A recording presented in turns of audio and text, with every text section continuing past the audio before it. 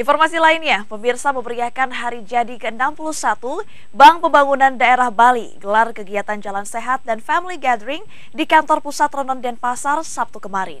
Kegiatan yang dilaksanakan secara internal ini diikuti ribuan keluarga dan insan BPD Bali.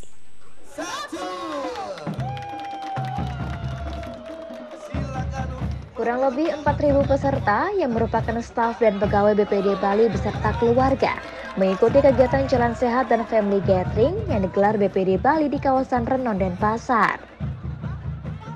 Kegiatan yang digelar untuk membangun semangat kebersamaan ini menjadi yang terbesar selama tiga tahun terakhir pasca pandemi. Sebanyak 40 UMKM binaan Bank Pembangunan Daerah Bali juga dilibatkan dalam kegiatan ini yang menggelar pameran sektor kerajinan dan kuliner selama dua hari di halaman kantor pusat Bank BPD Bali. Semoga berjalan dengan lancar dan tentunya bisa memberikan spirit yang lebih kuat bagi insan-insan Bank BPD Bali untuk bisa membawa Bank BPD Bali tumbuh kuat dan berkesinambung. Jadi kita masih bisa tetap uh, memberikan layanan kepada masyarakat sehingga uh, tagline kita dalam food yang sekarang ini adalah uh, tumbuh kuat dan berkesinambungan. Jadi kita tetap uh, ke depan uh, bisa memberikan layanan yang lebih baik sesuai dengan visi kita melayani uh, UMKM dan berkontribusi kepada uh, daerah uh, Bali. Di usianya yang ke-61 ini, Bank Pembangunan Daerah Bali terus bergerak melakukan berbagai terobosan.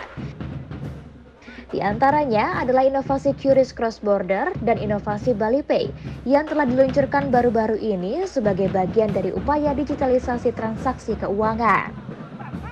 Kita concern kepada UMKM dari awal, dari semenjak saya masuk di sini tahun 2014, itu concern ya.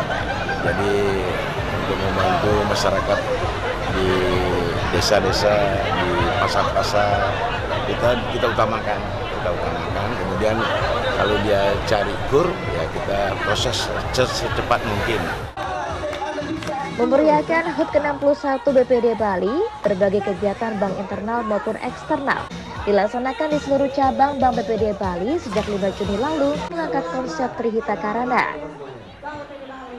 Di antaranya persembahyangan ke pura, penghijauan, kegiatan sosial ke panti asuhan, dan pemilihan duta BPD Bali, serta kegiatan seminar dan revisit korporat kultur untuk memperkuat spirit dan jiwa SDM Bank Pembangunan Daerah Bali. Dari Denpasar, Agus Sugiana, iNews melaporkan.